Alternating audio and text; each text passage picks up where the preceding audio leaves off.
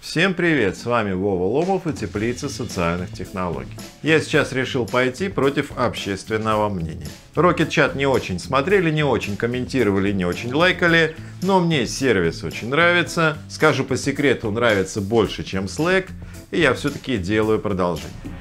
Возможно, оно не так востребовано, потому что люди думают, а зачем мне еще один мессенджер? Но это именно корпоративный мессенджер, исключительно для организации командной работы, и тут Rocket Chat очень хорош.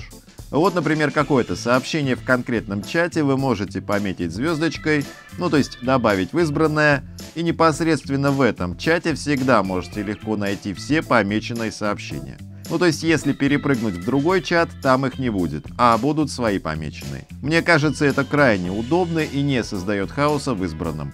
В Slack такой функции нет, в Telegram тоже. Но сегодня не о мелких и приятных фичах Rocket Chat, а как и обещал, более подробно о каналах. Каналы существуют для того, чтобы обсуждать какие-то отдельные повторяющиеся темы. Например, если говорить о теплице, у нас в Slack есть канал публикации, мероприятия, администрирование, в смысле отпуска, праздники и так далее, ну и тому подобное. Но в Slack все каналы однотипные, а в Rocket Chat можно выбирать еще и тип канала. С приватным и публичным, я думаю, все понятно. К публичному имеют доступ все, поэтому если говорить о работе организации, все каналы должны быть приватными. А вот дальше у нас тут существует еще три категории. И чтобы уловить различия, надо просто создать все три типа каналов. Чтобы не путаться, будем называть их в соответствии с типом. Трансляции, наверное, не лучший перевод, смысл не передает, но пусть останется дословный. И последнее это зашифрованный канал. Вообще тут есть еще и комбинации, например, зашифрованный только для чтения или публичная трансляция. Но это уже тонкости, которые и так понятны. Итак, вот мы создали три канала. В один я специально не добавил моего единственного собеседника в Rocket Chat с ником Добер. Специально, чтобы показать, как добавлять пользователей в дальнейшем после создания канала. Вот тут информация о всех участниках.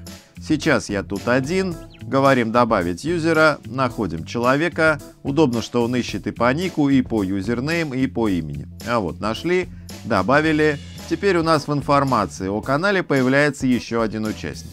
Я в данном случае являюсь владельцем канала, а значит могу осуществить с ним определенное количество манипуляций. Например, удалить из комнаты.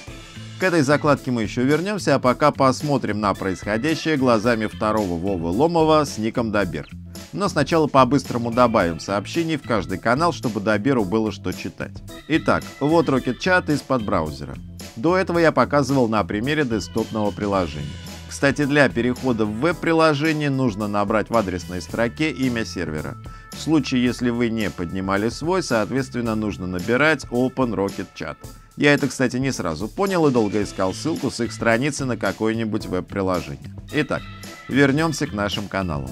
Первое — это трансляция, то, что там Broadcast Channel. Вы не можете писать здесь сообщения, если не являетесь владельцем.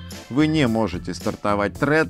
Вот он пишет, что это комната только для чтения, но вы можете ответить на сообщение. Причем в самом канале информации о том, что вы ответили и что именно вы ответили, не останется. Вы как бы будете писать лично владельцу канала в Direct Message. Но это будет именно ответ на сообщение в канале трансляции. Далее шифрованный канал. Тут все просто и сложно одновременно. Просто потому, что вы просто пишете, и все участники могут писать. Сложно, потому что это все-таки сквозное шифрование.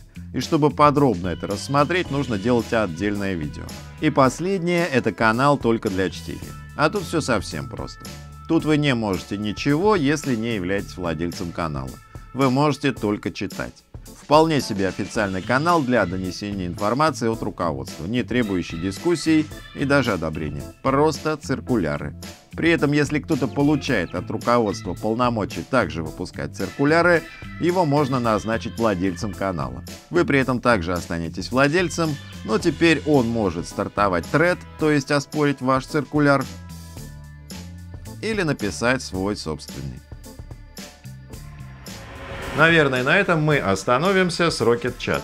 Хотя мне даже интересно, почему зрители канала не голосовали за продолжение. Напишите, пожалуйста, в комментариях, а еще подписывайтесь на канал и любите друг друга.